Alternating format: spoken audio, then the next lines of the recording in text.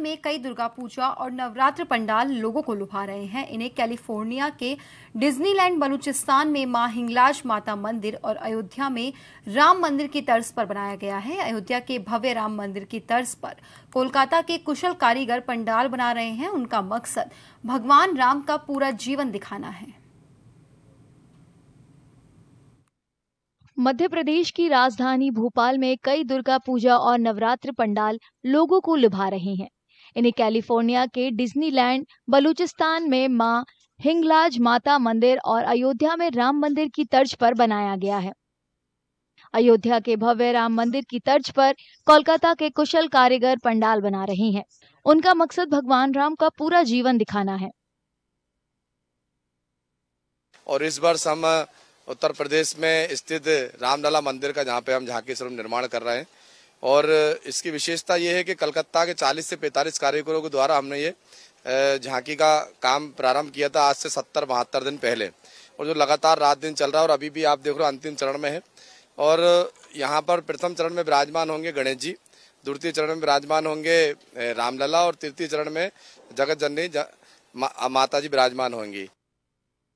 एक पंडाल डिज्नीलैंड की तर्ज पर डिज़ाइन किया गया है। इसकी थीम में पार्क के लोकप्रिय कार्टून कैरेक्टर दिखाए गए हैं। इस बार हम डिज्नीलैंड पर आधारित झांकी बना रहे हैं, जो कैलिफ़ोर्निया में स्थित डिज्नीलैंड है। झांकी के अंदर प्रत्येक प्रकार के कार्टून कैरेक्टर जो डिज्नीलैंड के अंदर हैं, Marsh and Bears, Cinderella, Donald Duck, ये सारे कार्टून कैरेक्टर्स अंदर हैं। इसके अलावा बच्चों के लिए अंदर झूले, राइड्स जो जो अलग अलग प्रकार के हैं, वो उसका है। पंडाल के अंदर माता रानी की मूर्ति जो कि लगभग तेरह फीट ऊँची और पच्चीस फीट चौड़ाई है।